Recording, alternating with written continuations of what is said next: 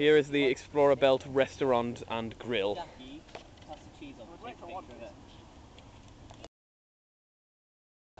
This is.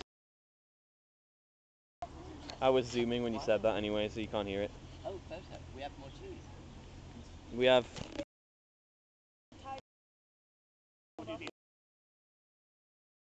The what? Well, okay, let's.